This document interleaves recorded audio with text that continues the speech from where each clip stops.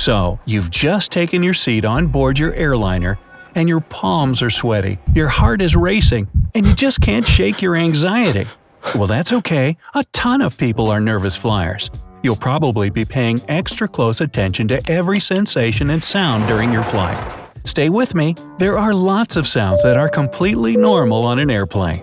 First, let's start with a little countdown to take off. The first sound you'll probably hear will be two dings. About 20 minutes before you take off, you'll hear two high-pitched dings in a row over the intercom system. This only means that one crew member wants to talk to another just to get into preparation mode for the flight. This is your chance to sit back, make sure you're buckled in, and try to relax. If you think about it, these dings are a good thing. They mean that the intercom system is working and that there's functional communication between crew members. 15 minutes before your plane takes off, you'll hear a single ding. This is a call from the cockpit to the flight attendants to pick up the phone. 15 minutes before takeoff is pretty much the pilot's last opportunity to do anything he needs to before he gets your plane in the air, like going to the bathroom, grabbing some coffee, or getting a snack. The single ding is like his request to the flight attendants to grab him that coffee or snack, or letting them know that he's stepping out of the cockpit for a minute. You uh, want your pilot to be comfortable, right? 10 minutes before takeoff, you'll hear a soft pound from under the plane and a drill-like sound. This is just the crew closing and securing the cargo hold. When you land, you want all the fun stuff you packed to be there too, right? The engines are now revving up too. If the crew didn't close the cargo hold, you might see your PJs or swim trunks flying away.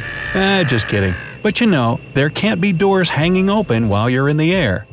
Now you're ready to take off.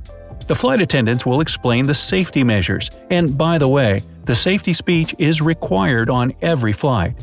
The flight attendant will explain that these safety measures are in place for very rare emergencies. And then it's time to take off. Don't panic, the plane will begin to move toward the runway. It'll pick up speed once it's on the runway so that it can achieve enough lift to get into the air. It'll sound like it's windy. But this is just the sound of the plane's wings and engines slicing through the air. Liftoff is pretty cool to watch if you have a window seat, but if it makes you nervous, just sit back and close your eyes until you're in the air. Liftoff. Love it or hate it, there's nothing quite like feeling your plane leave the ground. You'll hear the sound of the plane's wheels going back up into its belly. You'll hear the sounds of engines working and mechanical things happening. And it may be a little overwhelming and very loud, but these noises are completely normal. Remember that your plane is an amazing and complex piece of machinery. As you're climbing into the air, you might feel the sensation of your ears wanting to pop. This is normal too. It's just due to the change in air pressure. For a pro tip, try chewing gum or yawning during the liftoff to relieve those ears. Okay, so you made it into the air and everything is just fine. What other sounds might you hear? Five minutes after takeoff, two loud beeps will go off. This is the pilot telling the flight attendants that the plane has reached a certain altitude. It's just to keep the crew informed of the plane's progress.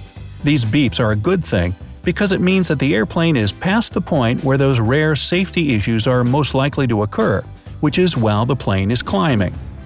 Drink and snack cart, whoo, my favorite. Roughly five minutes before the flight attendants roll the drink and snack cart through the aisles, one loud ding will sound to let you know that it's coming, in case you were catching some Z's or watching a movie. Now is your opportunity to grab a soda or water, and most carts also offer a small snack like pretzels or nuts. Creaks, rattles, and whooshes. These are all completely normal sounds that every airplane makes in the air. Don't let them scare you. Such a large aircraft is bound to creak, and the rattles are things moving and sliding around. Remember that everyone's carry-on bags are in the storage bins above you. If you're using the food tray, things may slide or bounce around on it. Think of the normal sounds you hear in your car and multiply that by 100.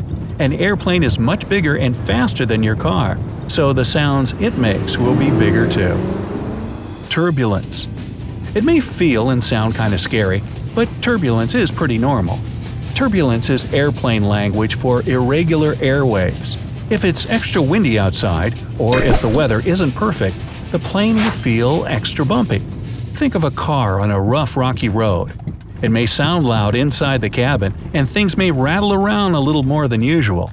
But turbulence is something that the pilot is completely prepared for and knows how to navigate through. It's a pretty normal and expected part of the flight. If there's a lot of turbulence, the pilot may send a ding over the intercom system, warning flight attendants that it might get a little bumpy. You hear all call over the intercom. Don't worry, this doesn't mean that the plane is in danger. This is just a flight attendant basically calling a meeting with the other members of the crew. The crew of the airplane will, of course, be checking in with each other during the flight. This is to make sure that certain duties have been done, safety checks have been made, the toilet is clogged um, just kidding, but you get it. Flight attendants don't necessarily need to use the intercom system, but if they know that other members are in a different part of the plane, it's just easier to do an all call. Beeps indicating that you can take your seatbelt off. When the plane has reached a certain cruising altitude and you've been flying for a while, it's safe to take your seatbelt off and move around. The pilot will let you know this by sending a beep over the intercom and turning the seatbelt sign off. These lit-up signs are usually located right above your seat on the ceiling. This may happen a couple of times if you're on a long flight, so the first time, the pilot may make an intercom announcement. You can now take your seatbelt off. This is your chance to use the bathroom and stretch your legs. Okay, let's get back to the countdown, this time for your landing. Two dings 10 minutes before you land. Just like there were two dings when you reached a certain altitude after takeoff, the two dings will ring again when you've reached that same level on your descent. Again, this is just letting the flight attendants know that the flight is almost over and to prepare for landing. You're almost back on the ground. A high-pitched whirring sound 5 minutes before landing. This is the hydraulic system, pulling in the slats and flap, which are structures on the plane's wing that changes the wing shape and helps keep the plane in the air. This is called lift. When these structures are pushed out, the plane can keep its lift while it slows down to a safe and comfortable speed and prepare for landing. By this point, you should feel the plane getting lower and lower. A bump and deep thunk 2 minutes before landing. This means the airplane's landing gear is coming out, which includes the wheels and anything else in the plane's undercarriage that helps it land. Mechanical gear in the wings may still be adjusting too. You may hear some whistling as well, since such a big airborne structure is trying to slow down from a pretty high speed, while also dealing with changes in the airwaves. These noises are completely normal during a landing, and you might be glad to hear them. The landing. The wheels will touch down on the runway, and you may feel and hear some bumps or thuds. Everything is fine. I mean, that plane is pretty heavy, right? Bumps during a landing are totally normal, even expected. You'll cruise along the runway for a while so that you can slow down. Then you'll slowly pull up to your terminal. You did it! Now it's time to get your land legs back. Just remember to try and trust your pilot and other crew members. If it's any comfort, the process for getting a pilot's license has pretty high standards, plus rigorous coursework and flight time, so your pilot knows what she's doing. Also remember that you're a passenger in a huge engineering marvel. You're going to hear noises. Think of an airplane as a much larger and complex version of your car. Also, try to enjoy your flight. You'll see magnificent views, and flying can be pretty relaxing once you're in the air. Hey, if you learned something new today, then give this video a like and share it with a friend. And here are some other videos you'll enjoy, just click to the left or right. Remember, stay on the bright side of life.